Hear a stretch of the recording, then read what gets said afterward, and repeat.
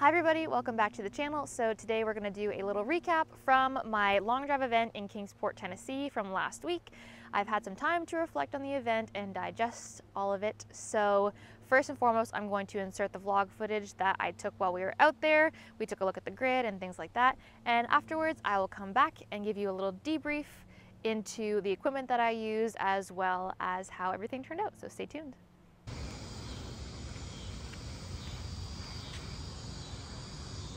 We are at the long drive event in Kingsport, Tennessee. It is seven o'clock on Saturday and Moo and I came to walk the grid, check things out, see how everything is set up and holy cow, for a televised event, this is insane. The stands are huge. It's insane. There's a VIP like hospitality area. There is a merch tent, a box office, areas for the kids to hang out. I mean, it's insane. So we are super excited. We just walked the grid and it seems like the right side is where I'm going to be aiming. And yeah, it's seven o'clock. It is so stinking hot. Moo competes at 8 a.m. tomorrow morning, so that'll be good for temperature. And then I'm at 4.30 to 6.30, so it's gonna be toasty roasty. I'm gonna show you guys a little bit of what the venue looks like and the tee box and the grid and all that cool stuff. So I hope you guys enjoy and I'll see you soon. Okay, so we are on the tee box right now and this is the spot here that we'll be teeing up our balls in. And what's nice is that at this event, um, you can tee up on either side of it and get data. So both lefties and righties will be getting data this week. And I'm so happy because lefties have missed out on data for the past few events. Um, the last time we had data available was in Mesquite. So it's super exciting that we get to see data again this week and it should be a lot of fun. I'll get to see kind of how I've improved and yeah, how I perform. All right, here's the T-Deck.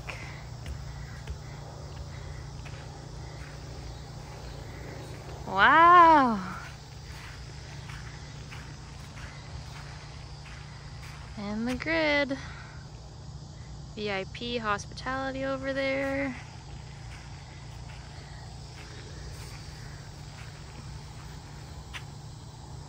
Here is the start of the grid. They did quite the job at painting the lines and the big WLD logos. This is really, really cool. So this grid is actually on a hole and it looks like it's a little bit downhill, but then kind of goes back uphill in some spots. So we gotta see which side of the grid are the hot spots right now. Okay, so we're 280 here, 290, 300, 310. I think goals for me this weekend is to at least get to 310. That would be nice. And if it's more, great. So you see here that we are downhill at uh, 290, 300, and then it starts going back uphill a smidge at 310 and 320. And then right at the 330 mark, it starts to go back downhill a little bit. So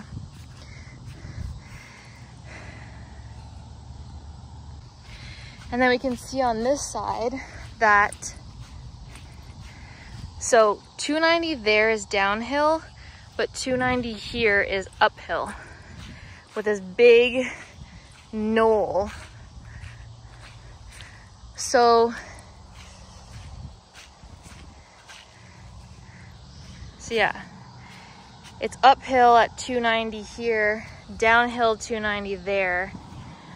I think right side, for me at least, is gonna be the aiming spot because I don't wanna land on the front side of this big old knoll and get no roll. I think for me, my aiming points are going to be down the right side because like I showed you, it's downhill on the right side at 290 to about 310 and then starts going back uphill. But on the other side, the 290 is uphill. There's a big knoll on the left side that I don't want to flirt with because if I land in that knoll, then I'm gonna get no roll. So right side of the grid it is. Wow, it is so bright, I can't see. Here are a few of the ball marks from today. You can see that the ball skips forward a little bit, but it's making some craters, some little baby craters in the fairway. So I don't know how much rollout that's actually gonna give us. So here is the warm-up tee. They said there should be a couple of spots for the lefties. So probably at the end over there, I think. And here's the range. So in terms of mindset for this week, I'm actually not as nervous as I thought that I was gonna be. Maybe it'll be different tomorrow, but so far I feel good about my practice and my progression and I'm kind of in the mindset of no expectations. You know, I'm gonna go out, do my thing, and whatever happens, happens. Um, regardless of the result, it's going to be an amazing learning experience. Um, having, like, having this be like a first televised event for me ever is crazy. And for someone like me who gets very preoccupied about what people think of me and that kind of thing, um, it should be an interesting challenge for me. I'm sure a lot of people can relate to the feeling of, you know, I don't know, not thinking that they're good enough or am I going to do well? Can I handle the pressure, all that kind of stuff. It'll be interesting to see how that goes. I am giving myself the goal to just like enjoy it, stay in the present moment, have fun, and I mean, we're just out here to hit some bombs, right? Like, you can't get that stressed out, so I'm excited, and I hope things go well. I'm super excited for Moo tomorrow morning. That'll be so fun to watch for the women's division. We are 16 women in the field and eight of us will move on from tomorrow to Monday. And so top eight will be viewed on TV on the golf channel. So I'm really hoping that I can do well enough to get into that TV slot. It's exciting. Wait a little bit. Here comes a cut down the left side with my right now. I would say under. I would bet a little under Maybe that. 335. I take the under 331. 331. I like that number. 331. Good ball from Savannah Meyer Clement with a little cut. Yeah, she came and she's not playing. Like I said, she's gotten better every single event. Live on the Golf Channel at 8 p.m. Got to see the girls get that ball out. And, uh, and this would be huge for Savannah Meyer. Just if someone doesn't, if they don't hit the ball in play, she's going to end up having 325 points. So she's got big. a ball in play at 287. No one else currently has a ball on on the board. Anadreos with the ball down that right, left side, and it's cutting back. That one's going to be close. That's a big ball. 170. I do like the profile of that shot. One, yeah, absolutely. I mean, if she does that for every swing that she has in general, she's most likely going to win a set. Savannah Meyer Clement center punched this golf ball. She hit this one pretty well. That one looks good. Yeah, I, I, I like this ball from her. Let's let's see. Her longest drive so far is 302, which would take the lead if that was you know her best ball think that one's going to be in. Savannah Meyer Clement with a win here would be at you know at, at 425 as well. This is no one has a ball in play. They're definitely they're all feeling, feeling it. So Gabby Powell and my Shift Teapot are sitting on the bubble right now, trying to get a ball in play here. Final balls right here. They're going to hit at the same time. And Savannah Meyer Clement. Savannah Meyer Clement. Oh, like oh, she lost by one yard. That's crazy. She could have got in right there. All right, so before we take a look at equipment that I used, let's do a little recap, debrief about what happened. Um, I wasn't as nervous as I thought I was gonna be. I felt pretty confident. There were some nerves, but in my warm-up I felt great, and I was the first group to hit, and that was my best set. I had a drive of 302, And the grid was mostly a carry grid, so having a 302 on the board in my first set was very encouraging. And then the weather hit, so we had to take a 20 minute break uh, for weather conditions. There were storms in the area, so we all had to go back to our cars. And then 15 minutes 20 minutes later we came back out started warming up again and then got back on with the event. Um, my second set was my first ever ob set and that really threw me off. Uh, for that set i was furthest to the left for the tee boxes and i knew that with my carry distances and how the grid was kind of laid out i needed to be hitting the center right area of the grid because it was more downhill where I would be landing the ball, whereas the left side was going uphill. So with a very undulated grid, uh, I had to be very particular with ball flights and where I wanted to land the ball in order to give myself a chance at winning a set. And so um, I was hitting good shots. They're all solid. However, they're bouncing and just kicking hard right out of bounds.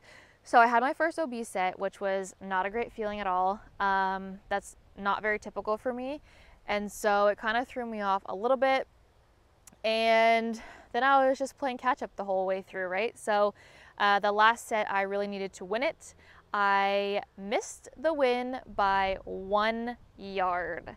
Um, had I won that last set, I would have made it on to the top eight and would have been featured on the Golf Channel the next day. Uh, it was a very hard one to swallow. It it really uh, crushed crushed me a little bit, and I just knew that, you know, I could have very well been in the top eight, um, hitting for the Golf Channel that next day. Had one, I not gone OB in my second set, and two, had that extra yard in the last set to make it through. So it was kind of a heartbreaker. Um, I learned a lot of lessons, obviously, and I'll be taking those with me to my next event. So, all in all, good learning experience, but definitely a heartbreaker. Uh, not gonna lie, I was in kind of a sour mood after that, but having time to reflect on it now, you know, I just have to give myself permission to let loose a little bit more in competition and not be afraid of, you know, going all out. The second you start to be careful is a second that, you know, things go wrong. So I have to just kind of embrace the letting loose part of it. That was the recap. Uh, World Long Drive put on a great event in Kingsport, Tennessee. The venue was crazy. They had a merch tent, they had a box office, they had a VIP hospitality area with food um, for everybody, big stands, and um, they also had a player's tent that was air conditioned, which was so key because it was hot, and air conditioned bathrooms for the players. So the event was very well done, very well organized, and so yeah, big shout out to World Long Drive for setting up such a great event for us. Next up, we're going to talk about equipment. So I've been hitting with my Cobra heads for the past few events and I could not be more happy with them. I have them both set down to either seven and a half or eight degrees, depending on conditions. Um, typically, I hit with my LA Golf A Series, which is a mid kick 50 gram in the three stiffness. So that's kind of like a regular stiffness for LA Golf. And I really, really love the feel of that. I like the mid kick in this one. It just allows me to launch it a little bit higher, a little bit easier. And then um, Stephen Lowe, thank you to Stephen Lowe at LA Golf Canada for sending me their G Series shaft just in time for the event. It is super, super lightweight at 47 grams. I kept this one at 48 inches and it's made out of boron material. So very, very solid, very light. And I used this one throughout all of my sets. Really liked it. My equipment was awesome. I loved having both of these options with me. And then obviously I have my Big Cat RIPIT Grips on here and those are just a tried and true classic for me. I also have the weights in my drivers. I much prefer having light weights in my head just because it is easier for me to swing it fast. So that is the little recap from my long drive event in Kingsport, Tennessee. Our next event will be Worlds in Atlanta, Georgia. Um, unfortunately, the Oceanside, California event got postponed to March 2024. So the next one in sight is Worlds in Atlanta. That'll be mid-October. So we've got lots of time to prepare for that and I am very looking forward to it. So I hope you guys enjoyed this video. Let me know what you'd like to see next and I will see you soon. Bye.